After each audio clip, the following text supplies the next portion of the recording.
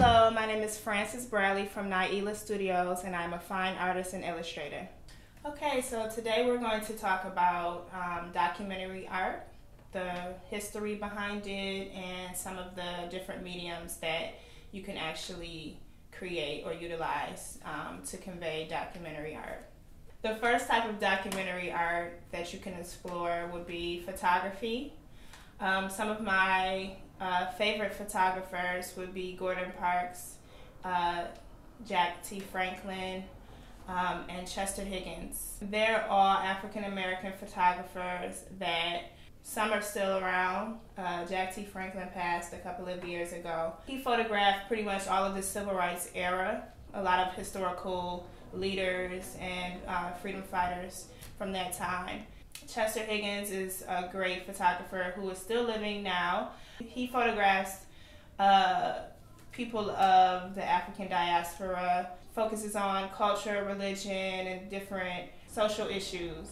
So, some of my favorite filmmakers would be Spike Lee. Um, he's pretty much known for one of his documentaries would be um, When the Levees Broke and that focuses on Hurricane Katrina. He's also known for a great uh, film called Malcolm X. And you also have Michael Moore, who is from my hometown, Flint, Michigan. One of his most uh, classic films that he talks about is actually Flint, Michigan, which is called Roger and Me. Um, but then you can also express yourself through dance, uh, through acting, pretty much anything as far as talking about something historically you're documenting um, through different mediums. Illustration and documentary are you will find mainly in um, newspapers and magazines.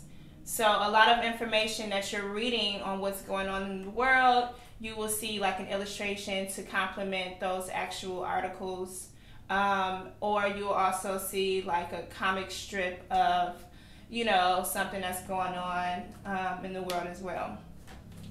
For more information, please visit nielahstudios.com.